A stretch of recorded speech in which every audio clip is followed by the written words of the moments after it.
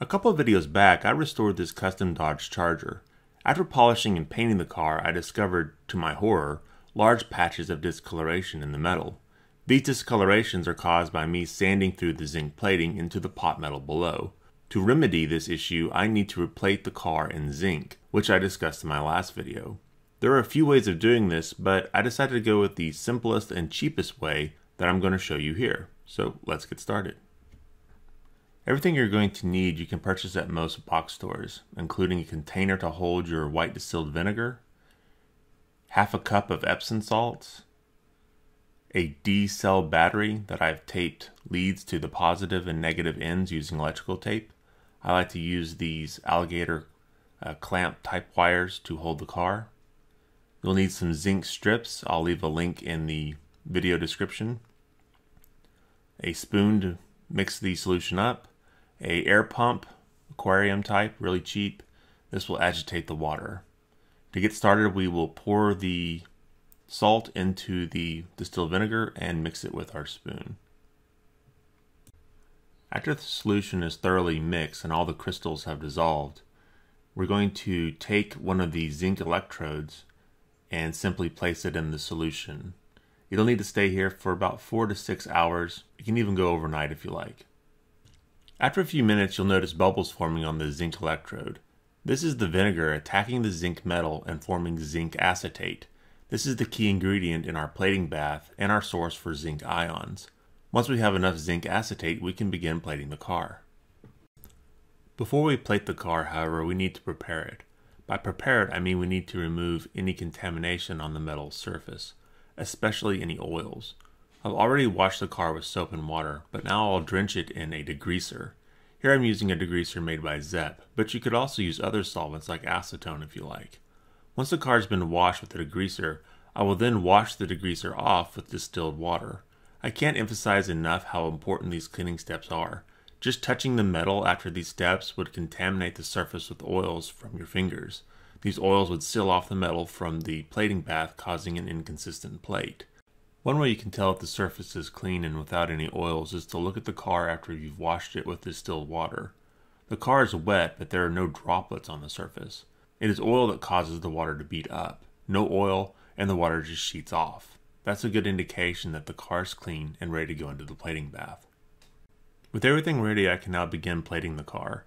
The setup is simple. I have a zinc electrode connected to the positive side of my D-cell battery, and the car is connected to the negative side. I'll suspend the car in the solution using a clamp. I'll be sure that the car is fully submerged in the solution and is the maximum distance from the zinc electrode. When everything is in place, I'll then add my aquarium pump tube to introduce bubbles. These bubbles will agitate the bath and cause any bubbles forming on the car to dislodge. If you do not agitate the bath, the bubbles can form and remain on the metal surface and cause circles in the metal, giving an inconsistent plate. Because I'm using a single zinc electrode, I'll need to turn the car about every 15 minutes to be sure that the sides are also well plated. Total plating time for this car was about 2 hours, but this is a rather extreme case and other cars that I have practiced on could be done in less time. After the 2 hours I can remove the car. You'll notice that the car takes on a gray appearance. This is the zinc metal. For some reason the hood took on a darker color, but it's also plated. The new zinc layer is a bit rough to the touch and needs to be lightly sanded. I don't want to use anything too harsh on the zinc, so I'll drop the car in a vibratory polisher and let that run for about 12 hours to lightly sand the zinc.